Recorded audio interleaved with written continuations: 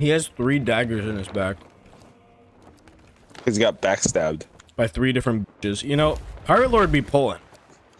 He be pulling, and then he got backstabbed by all these hoes, and now he's sworn to just start having gay sex with Flameheart.